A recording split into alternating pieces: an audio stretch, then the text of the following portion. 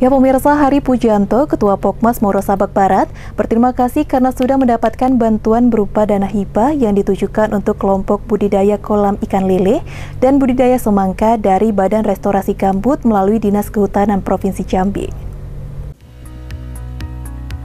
Dalam membantu perekonomian masyarakat, Dinas Kehutanan Provinsi Jambi memberikan bantuan berupa bibit ikan lele sebesar 12.500 ekor kepada masyarakat Muara Sabak Barat melalui kelompok masyarakat setempat.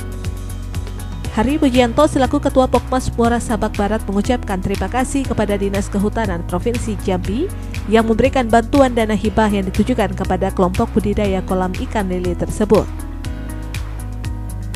Ia juga menjelaskan bahwa sudah terlaksana panen raya yang pertama kali dengan lancar, yang didampingi oleh Dinas Kehutanan dan Perangkat Desa. Dirinya juga sangat bersyukur dengan bantuan yang telah diberikan, serta berharap bantuan ini dapat bermanfaat dan bisa memotivasi masyarakat kelompok, budidaya atau pokmas yang lainnya. Dirinya juga mengatakan hitungan harga ikan lele ini dijual Rp15.000 per kilonya, dari bibit sebanyak 12.500 ekor itu diperkirakan nantinya akan memanen 4.000 kilo ikan lele. Hal ini menandakan dari budidaya ikan lele tersebut dapat menghasilkan keuntungan dua kali lipat.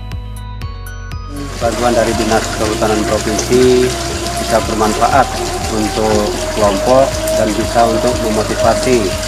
Dan Alhamdulillah kami sudah mendapatkan bantuan uh, bibit ikan lele berjumlah 12.500 ekor dan pada hari ini sudah dilaksanakan panen raya yang uh, pertama dan Alhamdulillah kegiatan panen raya berjalan dengan lancar. Lilis Kardina, Cek TV melaporkan.